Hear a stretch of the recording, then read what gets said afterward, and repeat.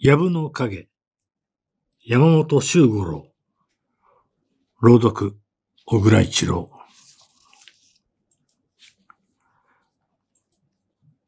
今日、ここを出て行けば、お前にはもう、安倍の家より他に家と呼ぶものはなくなるのだ。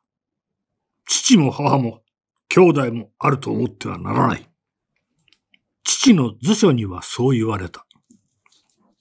母は涙ぐんだ目で、いつまでもじっとこちらの顔を見守りながら、よほど思案に余るようなことがあったら相談においで、とだけ囁くように言ってくれた。そして兄の言語はいつもの無造作な調子で、今夜は殿井番だから、残念ながら祝言の席へは出られない。まあ、しっかりやれ。安倍は頼みがいのある男だ。きっと幸せになれるよ。そう言って笑った。女と生まれた者は誰でも一度は聞く言葉であろう。そして、どう言い回しても、ありふれた平凡なものでしかないそうした言葉の中から、誰もがそれぞれ忘れがたい感銘を受けるに違いない。父の言葉の厳しさ、母親の温かい愛情、兄の祝福。どれにも格別新しい表現はなかった。けれどもユキには、それが皆胸に染み通るほど切実に聞こえ、嫁ぐという覚悟を改めて心に刻みつけられたのであった。行く先には少しも不安はなかった。夫となるべき安倍久之助は200石余りのオナンド役で、金国元締まり方を緊直に努めており、温和なことにも定評があるし、老母一人しかいない家庭は穏やかさとつつましさそのものだという。老母直女とも一度会っているが、体つきの小柄なしっとりとした婦人で、絶えず目元に静かな微笑を浮かべているという風だった。ユキにとってただ一つ心配なのは、自分が800国の大ユリアイの家に生まれ、父母と兄との深い愛情に包まれて育ったこと。世の中の辛酸を知らず、ただ伸びやかに過ごしてきたことだった。浮遊とは言えないまでも、不自由ということを知らなかった腰方に比べれば、二百国の家計の切り盛りはたやすいこととは思えない。日常の細かいことの端々にも、いろいろ習慣の違いがあるだろう。そういう中へうまく入ってゆけるかしらん。それだけがいつまでも心にかかっていた。三の丸下の成果を出たのは暮れ方のことだった。安倍の家は寺通りと言われる武家屋敷の外れにあり、乗り物が着いた時はもう日が灯っていた。仲人の吉岡田野も夫婦に導かれて入った一間は、それが自分の居所になるのであろう六畳ほどの落ち着いた部屋で、新しく張り替えた襖や障子に食台の光が映って眩しいほどだった。老母直女が挨拶に見え、続いて四五人の婦人たちが仲人夫婦と会釈を交わしに来た。ざわざわした人の出入りや腰入れの荷を運び込む物音など、気ざわしいあたりの様子をユキはじっと座ったまま綿帽子の中でよその世界のことのように聞いていた。どのくらいの時が経ってからだったろう。あたりの騒がしさが静まって、すべての物音がぴたりと止まったような一瞬、ふと、遅いな、という誰かのつぶやきが聞こえた。誰かが立って部屋を出て行き、母と他の夫人とが何か囁き合った。それでゆきは母親の底にいることに気づき、急にその顔が見たいという衝動を激しく感じた。間もなく出て行った誰かが戻ってきた。宣告役所へ迎えを出したそうです。どうしたのだ？頼むの声だった。何か早急に御用の調べ物ができて体質が遅れる。しかし6時までには必ず帰るという使いがあったそうですが、迎えを出したのですから、もう戻ると思います。御用では仕方がない。父の声だった。たとえ親の臨終でも御用のうちは愛に戻れないのが侍の務めだ。何？待つ分には馬もいらぬさ。そう言って父が笑うとすぐだった。何やら険しい足音と、ただならぬ人の叫び声が聞こえた。家中の物音がいっぺんに途絶え、すべての人が息を潜めた。その不気味な深いしじまを縫って、早く医者をという言葉がつぶてのように人々の耳を打った。何が起こったのだ？何か思いがけない不吉なことが起こったのだ？ユキはそう直感するとともに、じんと頭の痺れてくるのを感じた。タノモが慌ただしく出て行った。父もすぐに呼ばれて行った。あたりをはばかるような人声と足音が緊張した重苦しい空気を家中に広げてゆくようだった。ユキは息苦しさに圧倒されながら震えてくる体に力を込め、目をつむって運命を待つ者のようにうなだれていた。ほどなく父と頼もが戻ってきた。何事でございますか？と母が待ちかねたように聞いた。久之助が怪我をして戻った。父が興奮した調子で素早くそう言った。大藪のところに倒れているのを見つけたものがあって、今、担ぎ込まれてきたのだが、かなり重傷のようだ。ひとまず、雪を連れ戻さなければなるまい。それは一体、どうしたということでしょう。当人が口が聞けないのだから何もわからん。いずれにしても、家へ帰る方が先だ。雪を立たせてやれ。大変なことになりました。母は震えながら手を差し出した。しかし、ユキは静かにその手を押し返しながら、私、家へは戻りません。と言った。戻りませぬと言った彼女は、割らなく手で綿帽子を脱ぎ、青ざめてはいるが、凛とした表情で頼む夫人を見た。恐れ入りますが、私に着替えをさせてくださいまし。つねぎになりたいと存じますから。でも、ゆき殿、それは、いいえ。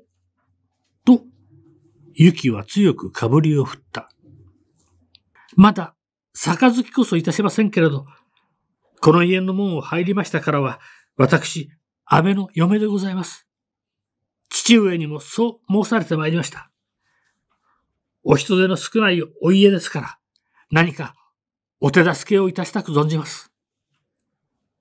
そう言いながら、自分の手で打ち掛けを脱いで静かに立った。誰にも言葉を差し挟む余地のないきっぱりと心の決まった姿勢だった。頼む夫人は引きつけられるようにその生とすり寄って帯に手をかけた。父や母や居合わせた人々がその時どのような目で自分を見ていたか、どのように着替えをしたか、ユキにはすべてが夢の中のことのようだった。後になってはっきり思い出せるのは、初めて夫の部屋へ入った瞬間の印象である。清之助は、御座を敷いたヤグの上に行がしていた。石のように冷たく硬直した頭。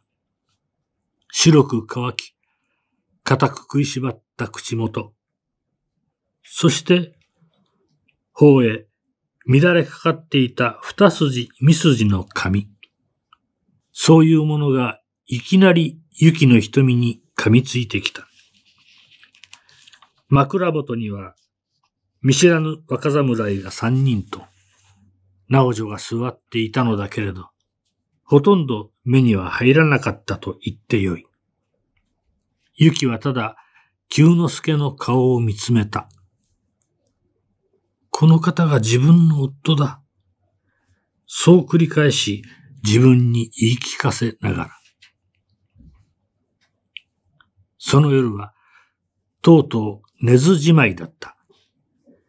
医者が来て傷の手当てをしたが、傷は左の脇腹で30針の余りも縫ったほど大きく深かった。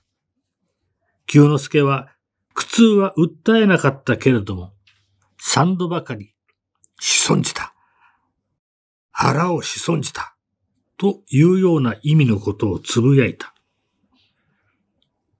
重症で頭が乱れているためか、それとも何か理由があって本当に切腹し損ねたものか、どちらかわからないが、聞いている者には非常に疑惑をそそられる言葉であった。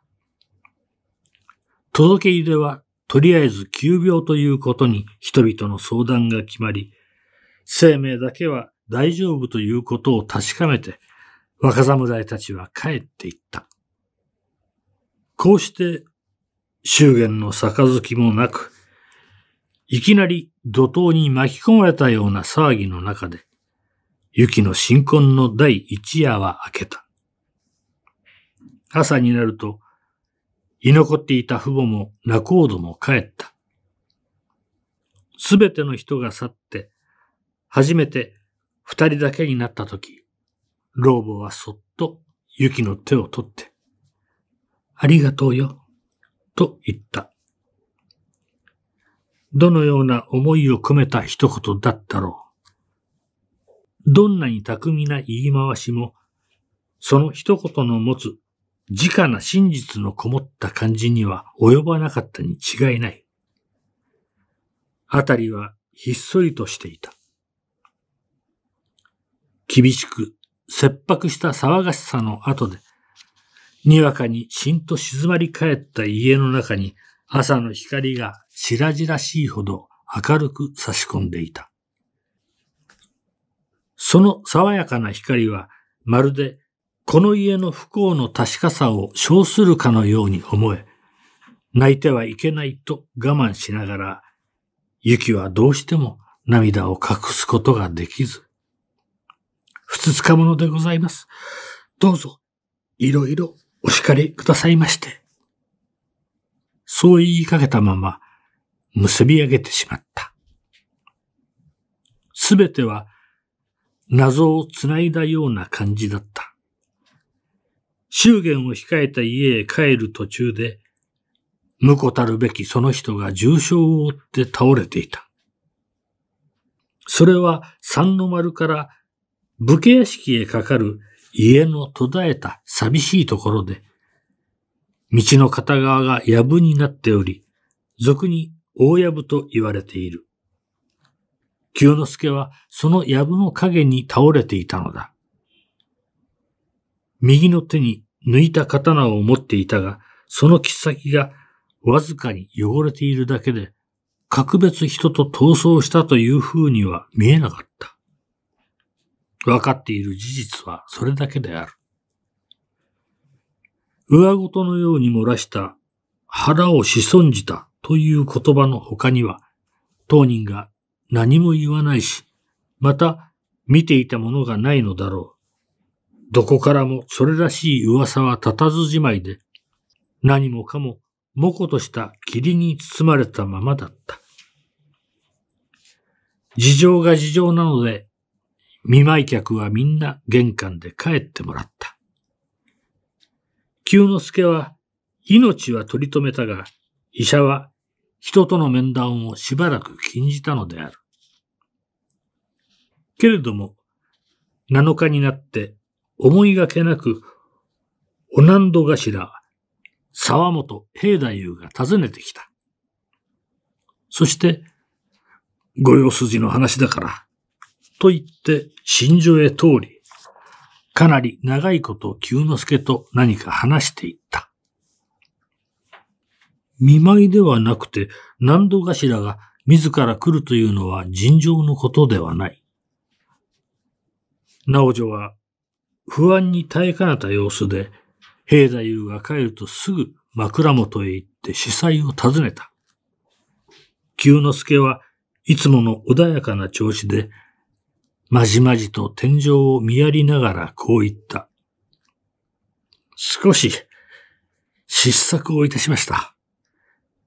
ことによるとご迷惑をかけるかもしれませんが、母上は何もご心配なさらないでください。何？そう大きなことではないのです。みんなうまく収まるだろうと思います。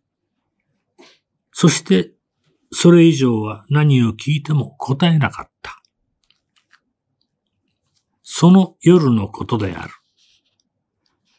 老けてからその心情を見舞うと、清之助が目でこちらへ来いと知らせた。雪は動機の激しくなるのを感じながら、膝をつつましく進めて枕元に座った。貸してきてから夫と二人きりで向かい合うのはそれが初めてである。清之助は感情の溢れるような目でしばらくこちらを見守っていた。すっかり母から聞いた。礼を言いたいが、その礼よりも先に頼みたいことがある。はい。この三日うちに、そなたの手で八十金整えてもらいたいのだ。突然でもあり、思いがけない言葉なので、あっと思った。しかし、ゆきは、打ち返すように、かしこまりました。と答えた。久之助は静かに目をつむった。わけも話さず、こんな怠邁な金子を作れというのは無理だ。これはよく承知しているし、口では何も言えないが、私を信じて調達してくれ。はい。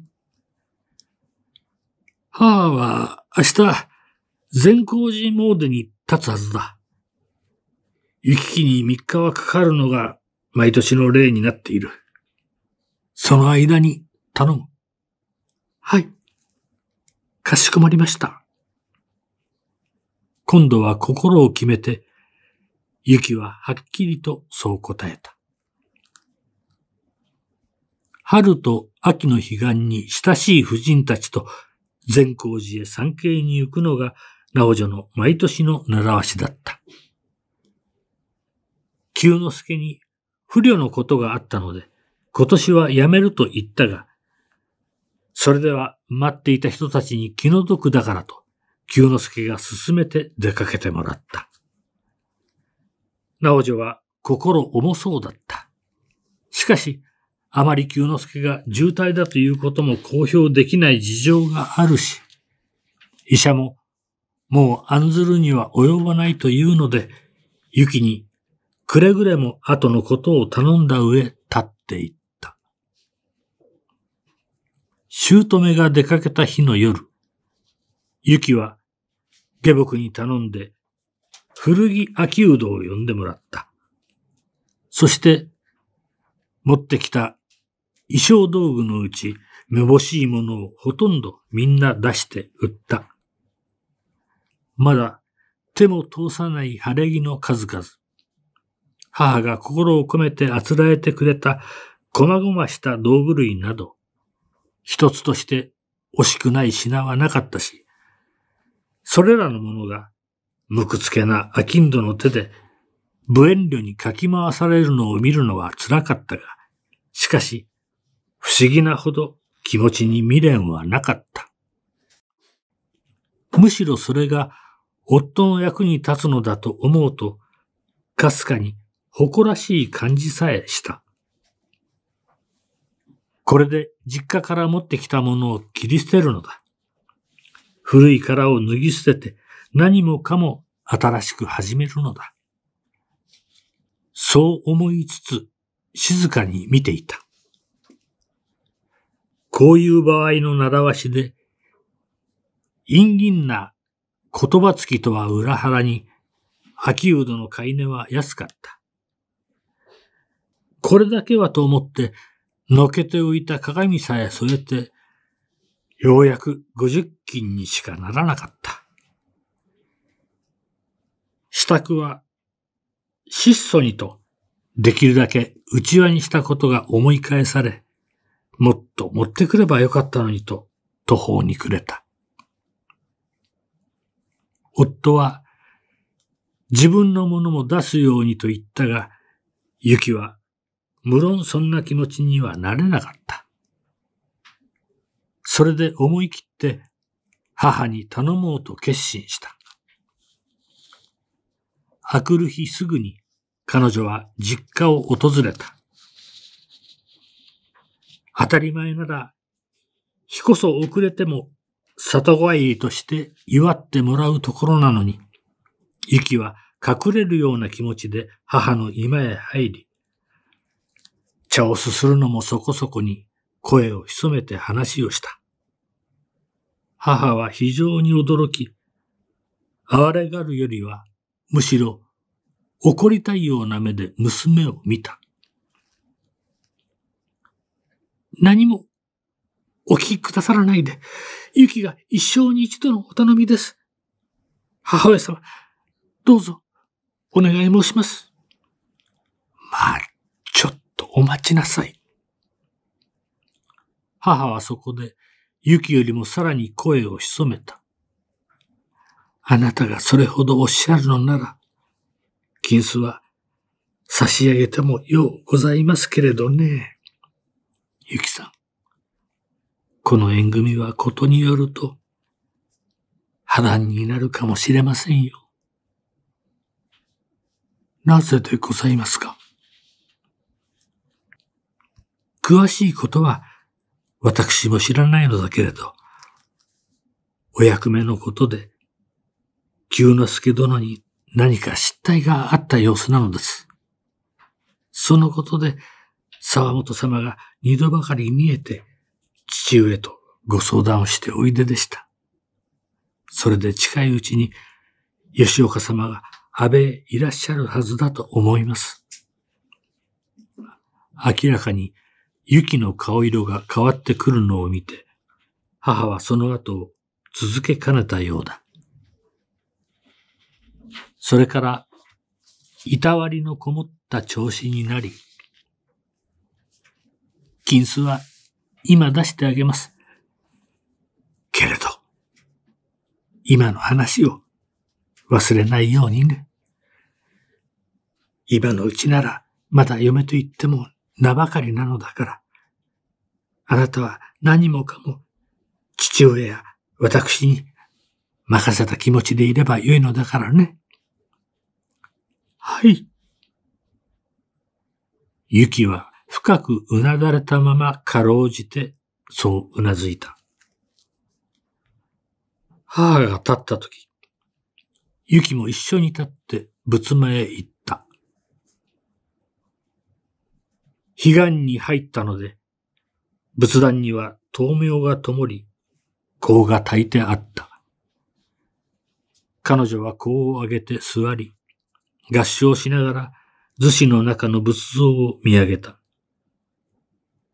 それは、天平時代の作だと言われる五寸余りの金剛の釈迦像で、この家に古くから伝わり、代々主婦の呪物になっている。灯明の光は、図紙の中へはよく届かないので、その像はいかにも神秘と荘厳を表彰するもののように見える。ユキは幼い頃、よくその仏像に願い事をしたものだった。美しい衣装が欲しいとか、古くなったひなを新しいものに変えてもらいたいとか、仲の悪い友達と道で会わずに済むようにとか。そして今、彼女は自分が何を祈ろうとしているかを思い返し、過ぎ去った日の無邪気な憂いも悲しみも知らなかった自分と、現在の自分との違いの大きさに心塞がり、まるでうめくかのようにため息を漏らした。家へ帰ると、両方の金を一つにして、夫の枕元へ持って行った。久之助は、心を通わせるような目でじっとこちらを見、ほとんど聞き取れないくらいの声で、すまなかった、と言った。苦痛を刻んだような眉間のシワや、つぶやくように、かすかなその一言が、どんなに深い感謝の思いを伝えるものか、ゆきには痛いほどよくわかった。久之助はやがて、ご苦労だが、それを包んで、お南度頭のところへ届けてきてくれ、と言った。沢本様でございますか？そうだ。こちらの名を言えばお会いくださる。取り次ぎではいけない。必ず直にお会いして、お手渡し申すのだ。頼む。はい。と言って、ユキはまたすぐに立ち上がった。沢本家を訪ねると、平太夫が会ってくれた。ユキは夫から申し使った旨を述べて、金包みを差し出した。平太夫は包みを開き数を改めてから、確かに、と言って受け取った。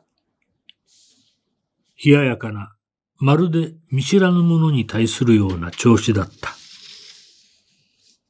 この人は実家とかなり親しくしていて、兄や雪などにもよく気軽に話しかけたものだった。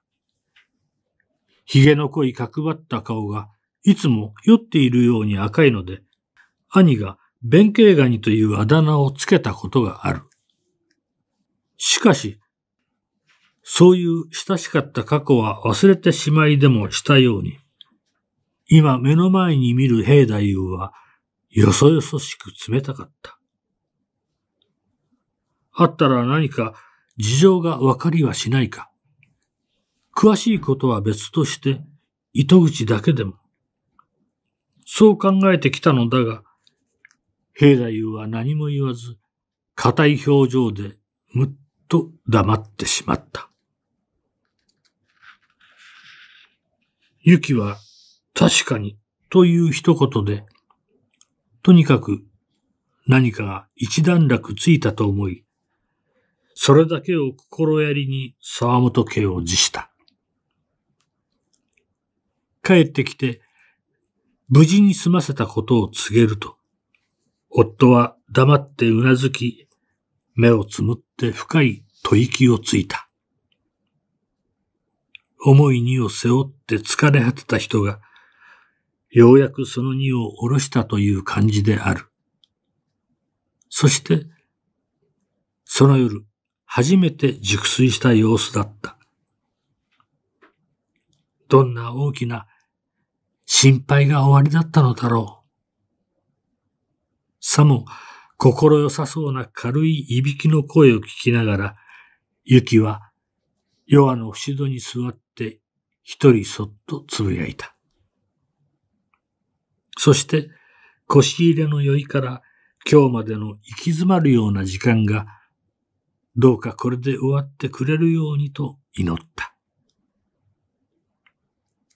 舅が善光寺から帰るはずになっている日の午後に、吉岡頼母が訪れてきた。ゆきは前から決心していたので、座敷へ通さず、玄関で応対した。お話は、ここで私が受けたまわります。けれど、母から先日あらましを聞いておりますので、先に申し上げますけれど、離縁のお話でしたら、伺うまでもございません。どのようなわけがございましょうとも、ゆきは安倍久之助の妻でございます。どうぞ、そうお示した上でお話しくださいまし。さすがに身が震え、心がおののいた。頼母は静かな目で雪の表を見守ったていた。彼女の言葉が真実のものであるか、それとも一時の興奮に過ぎないのかを見極めようとするように、そしてやがてそっとうなずいた。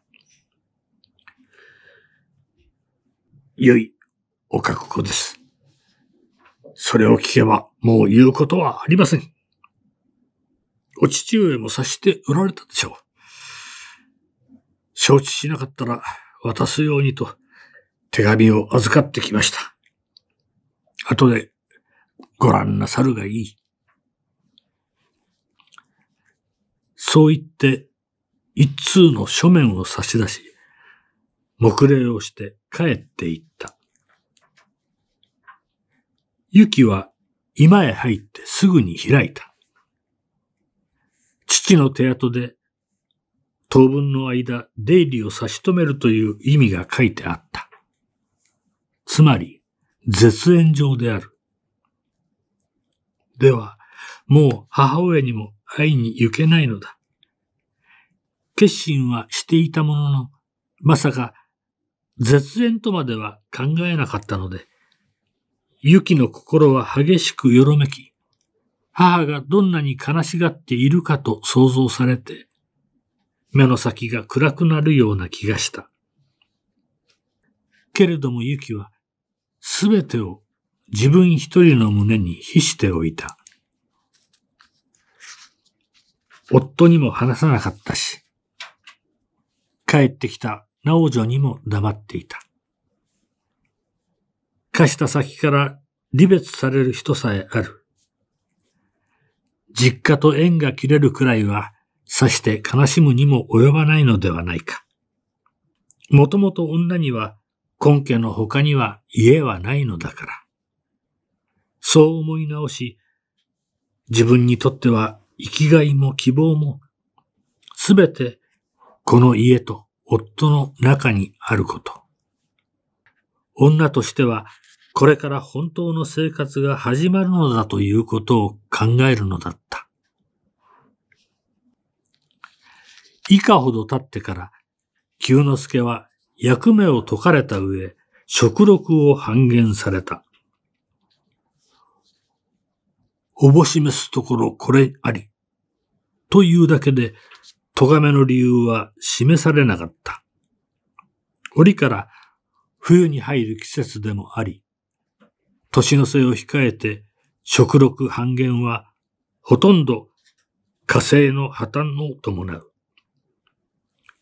半年の間溜まっている諸払いをどうしたらよいか。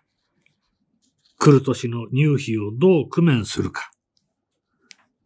実家の母には会うすべもなし。姑には心配をかけたくなかった。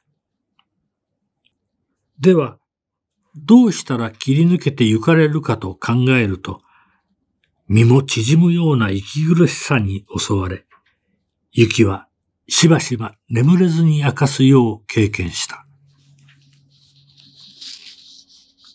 松本は信濃の国でも低い土地であるが、北側にのしかかる信濃丘陵から雪を交えて吹き下ろす風のために、下月から木更木まで寒さは格別厳しかった。少しでも年越しの足しにしようと思い、雪は親しくしていた友に頼み回って、五件ほど、琴の出稽古をする口を見つけてもらった。武家では差し障りがあるので、皆超過だった。夫や姑には、良い師匠があるので、手直しをしてもらいたいから、と言いこしらえた。毎日昼下がり、一時ずつと決めたので、近い家の時は良いが、遠い場合は行き帰りとも汗の出るほど急がなければならない。肌を切るような風の日や、日雨が降り続いて道のぬかる時など、こんなことをしていくらのものにもなりはしないのに、そう考えて心のくじけそうになることも二度や三度ではなかった。こうしたある日のこと、往来を掘り返しているところがあるので、回り道をしていくと、大藪と呼ばれるあの場所へ差し掛かった。雪は思わず立ち止まって辺りを眺め合った。片側にみっしりと茂った竹やぶがあり、片側はまばらな木立ちと草の荒れた空き地になっている。やぶと謎絵に右へ上がってゆく道の少し先には三の丸の高い石垣の橋が見え、後ろは一丁余り隔てて武家屋敷に入る。短い距離ではあるが、人目から隔たった寂しい場所だ。夫はここに倒れていた。あんなにひどく傷ついて。人に見つけられるまで動くこともできずに倒れていた。ユキはゾッとするような気持ちで足元の黒く湿った地面を見下ろした。この藪の陰で何かがあったのだ。この藪や木立や冷たいこの土はそれを見ていたのだ。一体どのようなことがあったのだろうか。時の移るのを忘れて、雪は随分長いことそこに佇んでいた。そして道武神が住んでからも、惹かれるような気持ちでそちらへ回り、家にいても、ふとすると、やぶかげの湿った黒い土が目に浮かぶのだ。12月に入ると、雪の舞う日が多くなった。朝のうち照っていたのが、昼下がりに曇ったと思うと、いつかちらちらと粉雪になる。しかし、積もるというほどもなく止んで、夜空は星を散りばめたように晴れるが、朝明けにはまた降り出している。そういう日が続いて、道の端や家の後ろや日陰の底ここに凍ったまま溶けない雪が次第に面積を広げていった。直女の様子が変わり出したのはその頃からのことだった。雪の立ち入を見る目がどこやら尖ってきたし、物を言うにもなんとなくトゲが感じられた。稽古からの帰りが少しでも遅れると、まだそんな時刻でもないのに、クリアに降りて夕げの支度をしていたり、また、わざとのように、夜半過ぎまで縫い物をしていたりした。それが、自分へ当てつけているのだと気づくには、その時の雪はあまりにひたむきであり、若かった。そして、あんなにしっとりと落ち着いた人だったのが、絶えずイライラと不機嫌な態度になってゆくのを、ただハラハラした気持ちで見守るばかりだった。ある日の午後、いつものように稽古に出ようとしていると、直女が来て、お稽古通いは、まだ長く続くのですか？と尋ねた。その声は耳立つほど震えていたし、その目はびっくりするほど険しく光っていた。はい。しばらく通いたいと思います。そう答えながら、ユキは顔を赤くした。もう押し詰まってきたし、急な助も、あの通り寝たり起きたりしておいでなのだから、あなたにはお稽古も大事ではあろうけれどね。そこまで言いかけて、ぷつっと言葉を切った。そして、返事も待たずに去っていった。ユキはようやく理解することができた。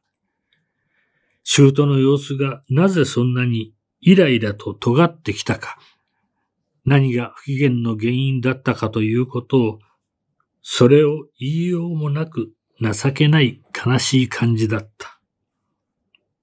ユキは逃げるように家を出た。あんな風になすっていいものだろうか。ユキは高ぶってくる気持ちを抑えようもなく、この日頃の舅の態度を一つ一つ思い返した。自分はいくらかでも家計の補いにしようとして、長家の娘などに出稽古をしているのだ。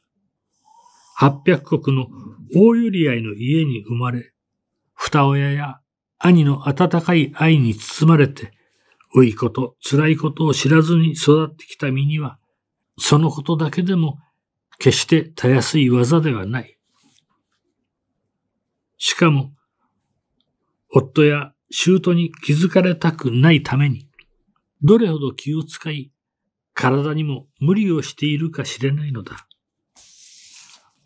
もちろん隠しているのだから、姑にはわからないのは当然であろう。けれども、親となり異なったら、素振りでも、およそは察してくれてもよいのではないか。少なくともあのように、つけつけとおっしゃることはないだろうに。ゆきは胸が燃えるようだった。いつか、アキンドに売った衣装や道具の数々。人目を忍んで実家の母に金をもらいに行ったことなどが思い出され、そんなことも結局は分かっていただけないのだ。みんな、徒労だったという気がして言いようもなく悲しくなり、いっそこのままどこかへ行ってしまいたいという突き詰めた感情にそそられながら、全く見当の違った道を半ば夢中で歩き続けるのだった。山という山は遠いのも近いのも雪に埋もれた。その山並みの上には開墾のように暗いネズミ色の雲が覆いかぶさり、絶えず凛冽な風と粉雪とを吹きつけていた。夜中にふと目覚めると、クリアのあたりで物の凍る音がし、ピシピシと柱の染み割れるのが聞こえたりする。そんな時、雪は、人根の襟を駆け寄せながら、すでに年の押し詰まっていること、この暮れを無事に越せるかどうかということを考えては、追われるような苦しさにため息をつくことがしばしばだった。この土地には珍しく、降り出した雪が三日も続いて、ようやく上がったある夜、瀬沼新十郎と名乗る客が訪れてきた。夫と同じ年頃の人で、雪には初めての顔である。背丈の高い怒り型のかなり際立った風貌なのに、どこか病気でも患っているような青白いやつれた表情をしていた。それは珍しい。清之助はすぐに起きて着替えをした。まだ治りきっていない傷が痛むので、帯も緩く、袴はつけられなかった。彼は玄関まで出迎え、ようこそ。さあ、どうかお上がりください。そう言って、いかにも心嬉しげに客間へ導いていった。その時、姑は留守だった。ゆきはすぐ茶を持って行くつもりで、湯釜の加減を見ていると、不意に客間から異常に高ぶった声が聞こえてきた。それは、思わず耳を澄まさずにはいられないほど異常な響きを持つ声だった。それを言ってはいけない。その必要はない。いや、言わなくてはならない。客の声はわなわなと震えていた。言わせてもらいたいんだ。これを言ってしまわないうちは、息もつけない気持ちなんだ。あの時、大藪のほとりで闇討ちを仕掛けたのは、そこもとに自分の始末を見つけられたからだった。拙者は、お難度の金を百両近く飛翔していた。すぐ返済つもりだったし、その、木さも確かだと信じていたが、思いがけない手違いが生じて、それが不可能になった。それを、あの日、底本に発見された。万事休すと思った。これが公になれば、身の破滅だと思い、わからんのあまり、前後の分別を失った。そして、底本を切り、底本に、罪をなすろうとしたのだ。おののくような声は低かったけれども、その後数の告白は雷の落ちかかるように、雪の耳を打った。彼女は危うく叫び出しそうになり、膝のあたりを固くしながら息を潜めた。子孫じたと知ったのは、あの翌朝のことだ。そこもとは重症ながら命は取り留めたという。もういけない。これで何もかも終わった。すべては明るみにさらけ出される。今日か。明日か。そう言いながら、それでも腹を切るだけの決断がつかず、夜も昼も寒暖なしに呵責と残機に苦しみ、後ろ首に刃を突きつけられているような気持ちで、一寸刻みの時を過ごしてきた。それがどんなに耐え難いものだったか。そこまでに想像できるだろうか。客の言葉はちょっと途切れ、泣いてでもいるのか、しばらく、あえぐような息遣いが続いた。そのうちに、いろいろなことが分かってきた。そこもとは、拙者の不始末を引き受けてくれた。あれだけ、大枚の金を黙って返済し、自分の名を怪我した対面を捨てて罪を着てくれた。こんなことがあるだろうか。拙者には信じられなかった。いかに度量が大きく心が広くとも、人間としてそこまで自分を殺すことができようとは思えなかった。しかも、それが事実だと確かめた時の拙者の気持ちを察してもらいたい。客はたまりかねたように泣いた。聞く者にも胸苦しくなるような激しい苦悶の声であった。もうそれでやめよう。たくさんだ。やがて夫が静かにそう言った。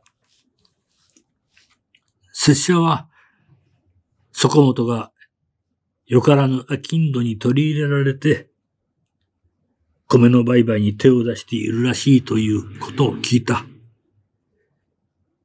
意見しようかとは思わないではなかったが、そんなに深入りをする気遣いもあるまい。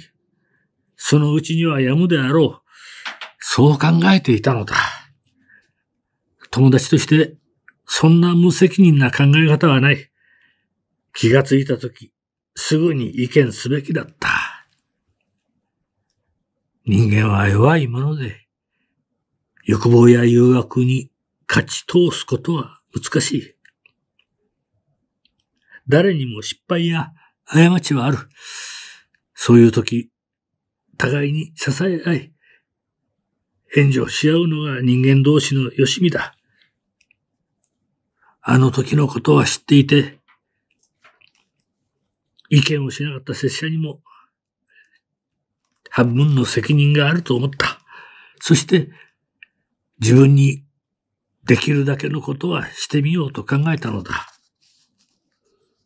それが、いくらかでも、そこもとの立ち直る力になってくれればよいと思って。少しもおごったところのない水のように淡々とした言葉だった。その飾らない静かな調子が、かえって真実の大きさと美しさを表しているように思えた。そこもとは立ち直った。奉行役所に抜擢されたということを聞いたとき、拙者は自分のわずかな助力が無駄ではなかったことを知り、どんなに敬がしていたかわからない。これは、誇るに足る立派なことだ。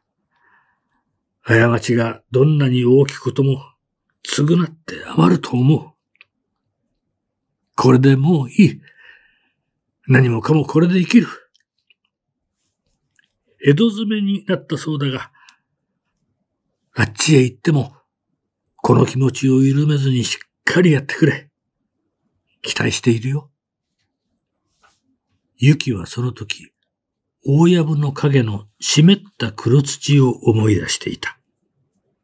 あの藪の影には、このように、大きな真実が潜められていたのだ。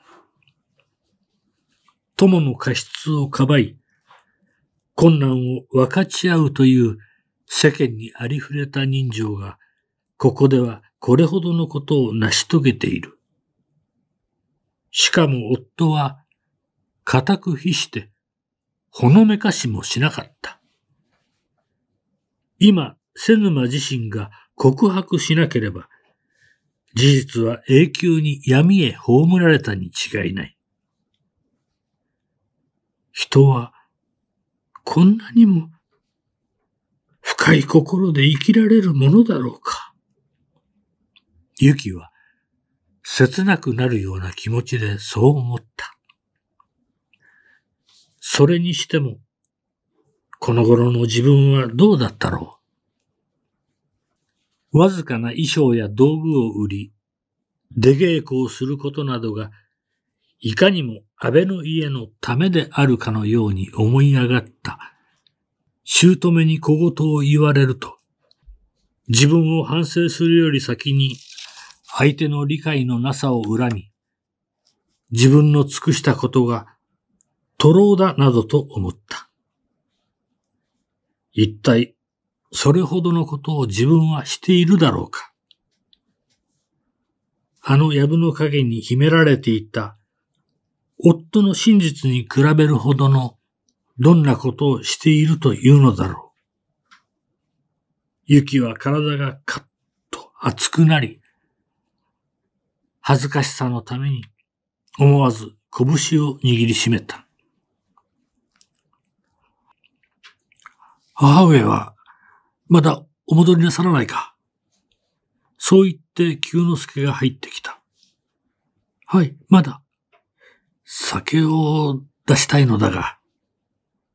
と、久之助は、言いにくそうに声を潜めた。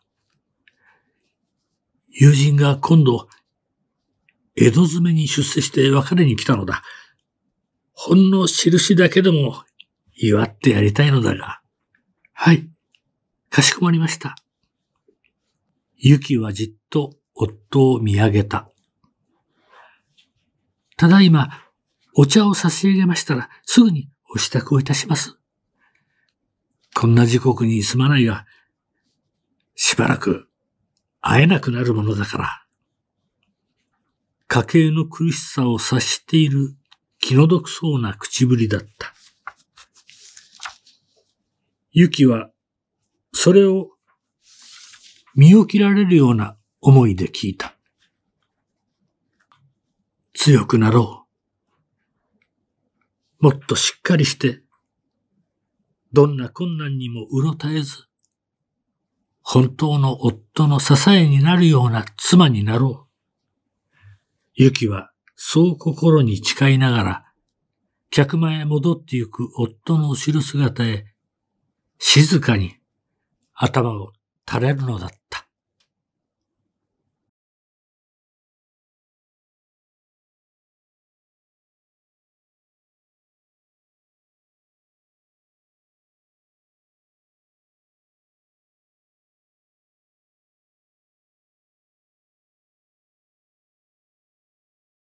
選び抜かれたとっておきの名作朗読文芸集文芸ホラースリラーサイコサスペンス。人生に潜むミステリアスな空間の数々。おすすめはこちら。よろしかったらチャンネル登録ボタンを押してください。